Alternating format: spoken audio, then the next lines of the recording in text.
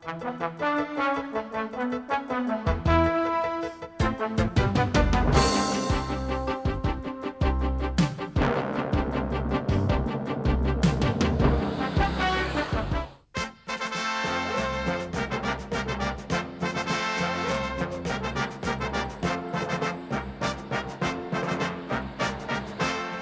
de volgende reportage nemen we u mee naar een van de mooiste streken van België, de Ardennen.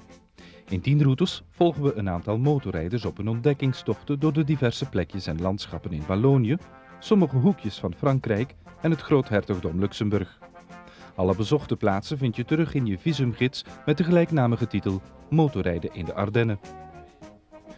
De keuze van de juiste motorfiets is een persoonlijke voorkeur. Toch is de toermotor het meest aangename vervoermiddel om de bochtige Ardennenwegjes te doorkruisen. Je motorhandelaar kan daarbij als een goede raadgever fungeren. Uiteindelijk wil je toch jaren met plezier door berg en dal rijden.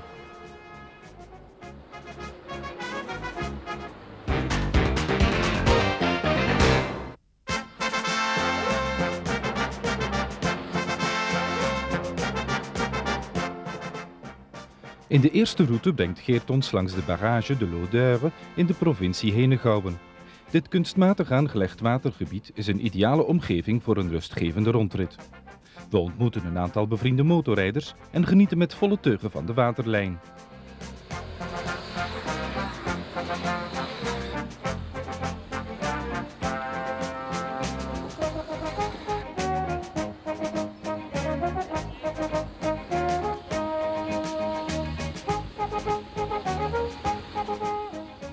Lob rijden we binnen langs de Portelette.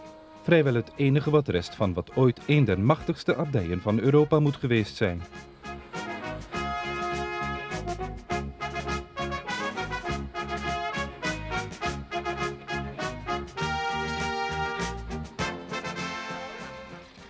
Via de lange trap bereik je de vroeg-Romaanse Sint-Ursmaruskerk, een basiliek gebouwd in de 8e en 9e eeuw en een van de laatste Carolingische bouwwerken in ons land.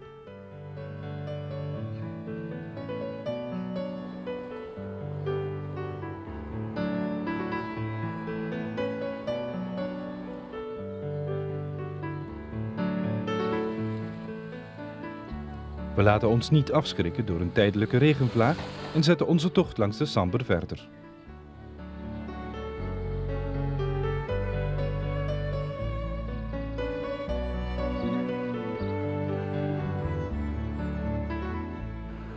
De oude grenspost nabij Couzeur trekt onze aandacht en de aanhoudende regen lokt ons voor een kop koffie naar een typisch Frans hotelletje hier in de vallei van de Tuur.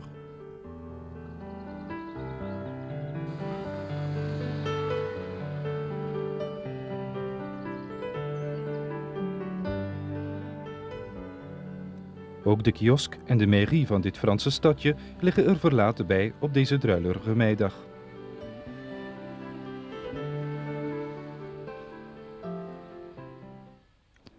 De vallei van de Tuur heeft ongetwijfeld meer kleur op een echte zomerdag. Toch kan ons plezier niet verwateren en we rijden droog het oude Trois binnen. Deze zevende eeuwse stad is een beetje ingeslapen en we bewonderen even het oude Belfort dat hoog boven de stad uittorent.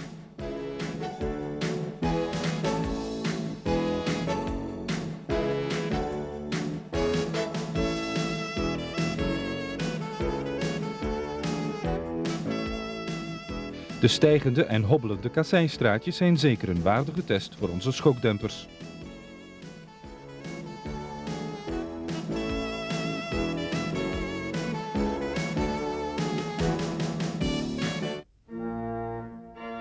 Terug de Samber kruisend over pittoreske sluisjes reizen de monumentale ruïnes van de oude abdij van Olne voor ons op. Gesticht in de 7e eeuw beleefde deze abdij haar bloeitijd in de 18e eeuw.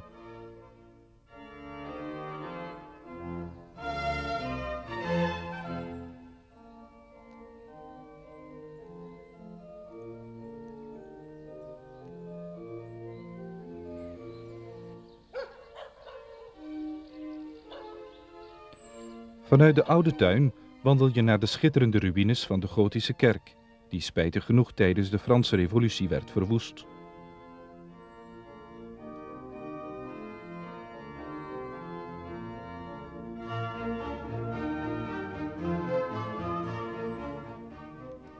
Konden stenen praten, dan zou je hier prachtige verhalen horen over een rijk verleden.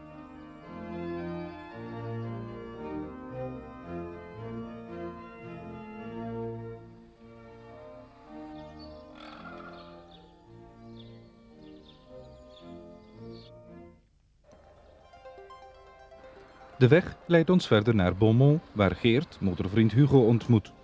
De zon is van de partij en we snuisteren op de wekelijkse markt in het oude stadsgedeelte.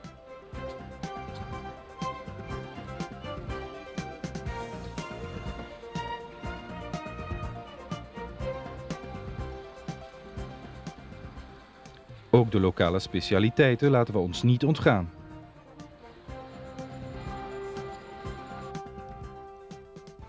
Via de oude stadswal passeer je de Tour Salamandre, een 14e eeuws militair bouwwerk waar momenteel een museum voor geschiedenis en folklore is ondergebracht.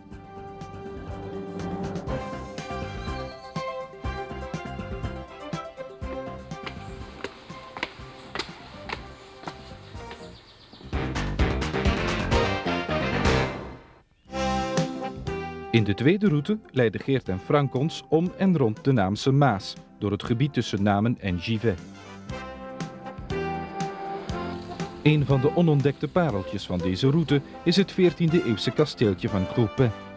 Gedeeltelijk in vakwerkbouw opgetrokken, biedt dit kasteel een sprookjesachtige aanblik.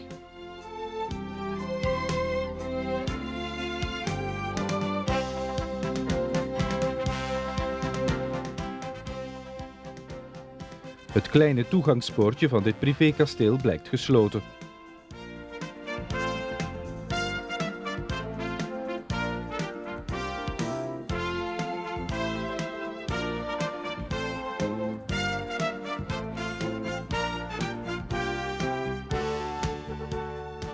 We wandelen even rond en ontmoeten de zoon van de eigenaar die in de visvijvers van de achtertuin een forellenkwekerij uitbaat.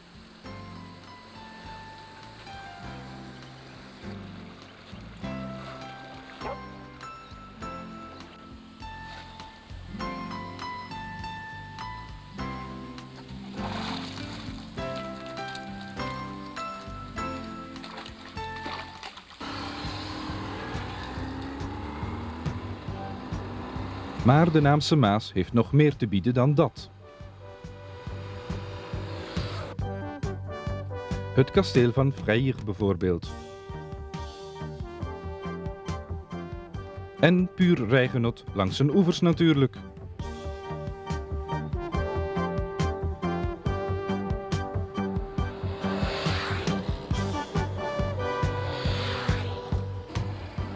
Zo komen we aan in Dinant, een van de bekendste gezichten die de Naamse Maas te bieden heeft. Minder bekend is de Dinantse bijaardrots, verbonden aan tal van legendes over het ros bijaard.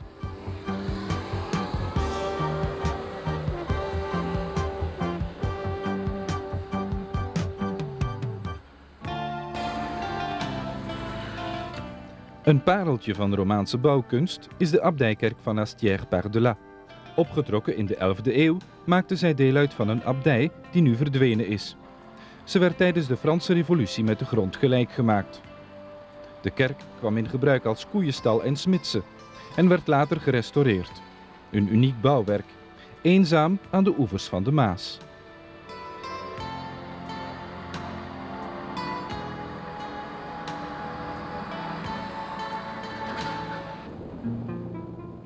De Maasvallei is altijd rijk geweest aan abdijen. Die van Maretsu, een van de bekendste, is een getrouwe kopie van een 13e-eeuwse abdij en een perfect decor voor het brouwen van trappist en het maken van kaas.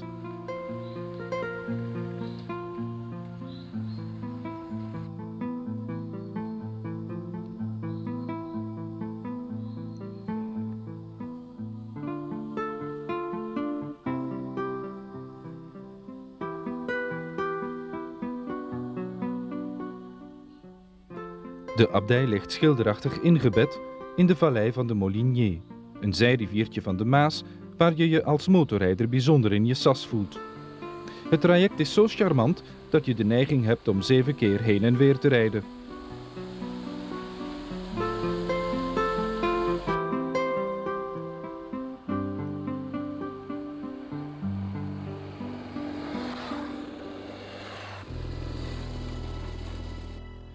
Het Château de Montaigle ligt eveneens in de vallei van de Molinier. Een romantische burchtruïne waar s'nachts bij nevel en mist de spoken nog steeds zouden rondwaren.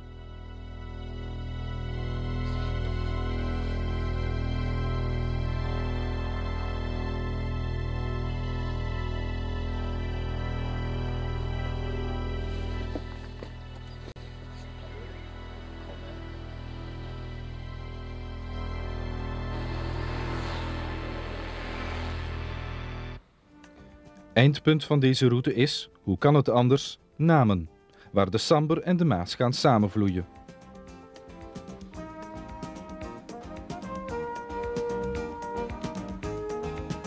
Het oprijden van de citadel is geen sinecure. De ene haarspeldbocht volgt de andere, maar die moeite wordt ruim beloond.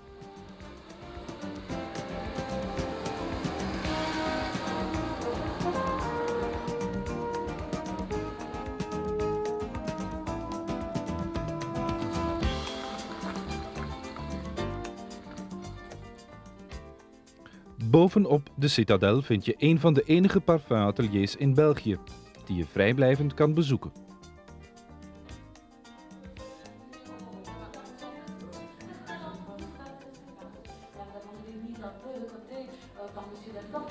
Eigenaar Guy Delforge geeft graag een woordje uitleg. Een geurig einde van deze tocht, waarna een bezoek aan Namen uiteraard verplichte stof is.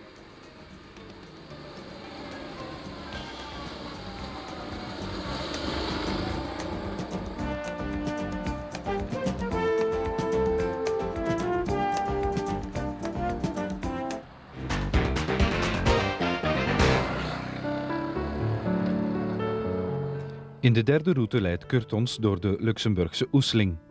We vinden hem terug op de landelijke wegen in de buurt van het dorpje Oeren.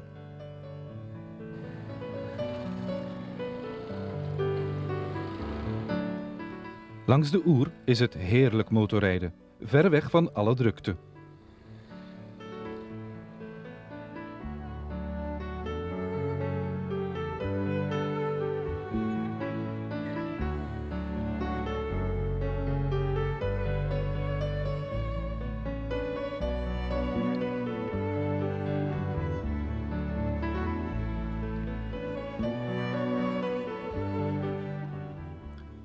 Het drielandenpunt waar Luxemburg, Duitsland en België elkaar raken, is het tijd om even te verpozen bij het Europa-monument.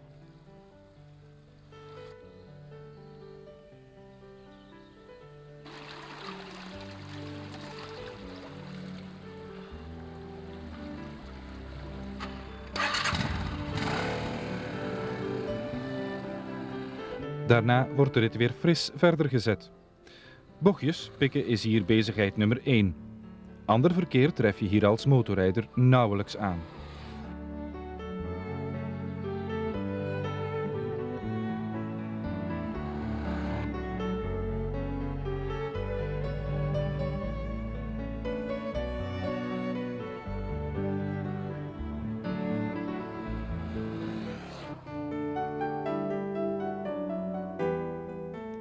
Rustig rijden we langs het grote stuwmeer van de Haute-Sure. Je zou haast denken dat deze weg speciaal voor motorfietsen werd gebouwd. Het mini-haventje van Inzenborn wacht op zeilers en surfers. Motorvaren is hier verboden.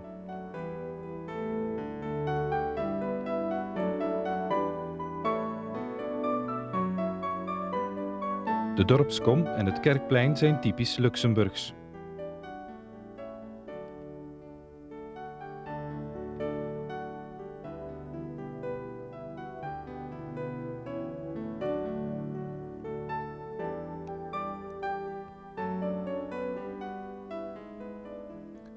We stoppen even om van het panorama te genieten en vervolgen dan onze weg langs het meer.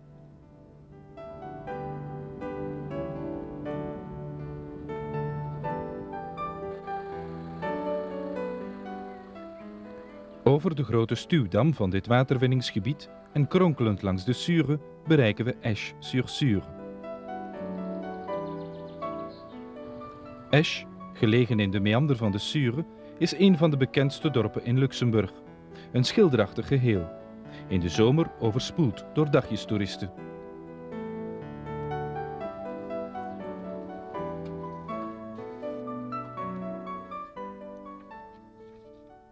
De horeca is erop voorzien en wij maken daar gretig gebruik van.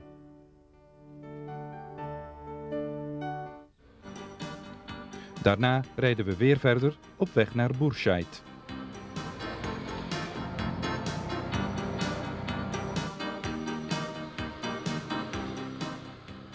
Ook hier weer is het motorrijden puur genieten. Deze route heet niet voor niets bochtjes spikken in de Oeseling. En we blijven nog even langs de Sure.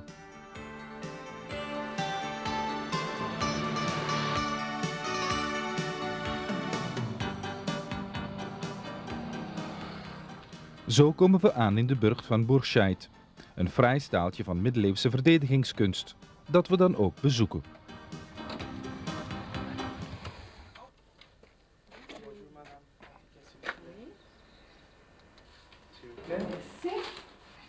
Voici le plan pour visiter le château.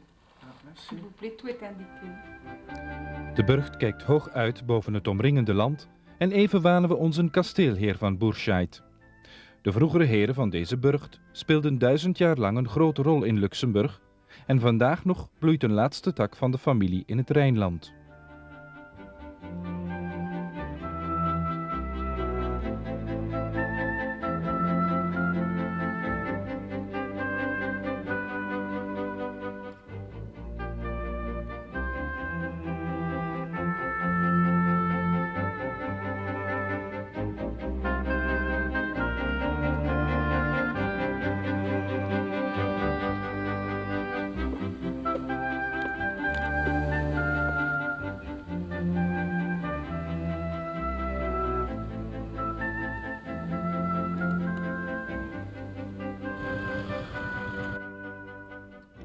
Nog niet helemaal uit deze droom ontwaakt, beleven we al een nieuw avontuur.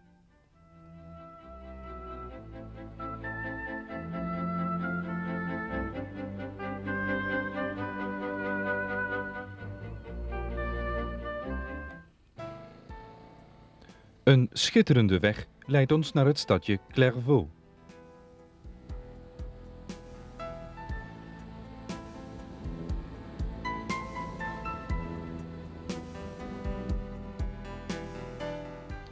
Deze stad is onlosmakelijk verbonden met zijn in 1910 gestichte abdij. Natuurlijk brengen we even een bezoek aan de Neo-Romaanse kerk.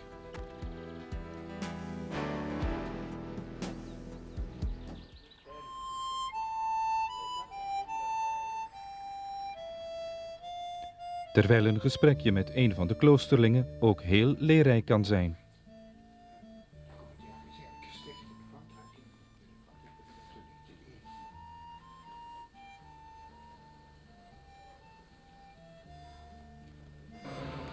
Natuurlijk mogen we Clairvaux zelf niet vergeten. Waar de Ridderburgt hoog boven het stadje uittorent.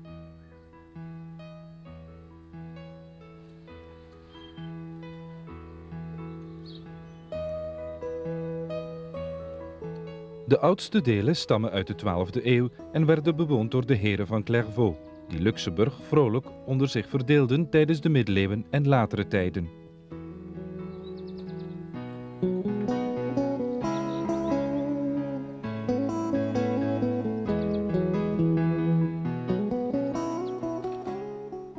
Bij leuk motorrijden hoort natuurlijk ook een koffietje op zijn tijd.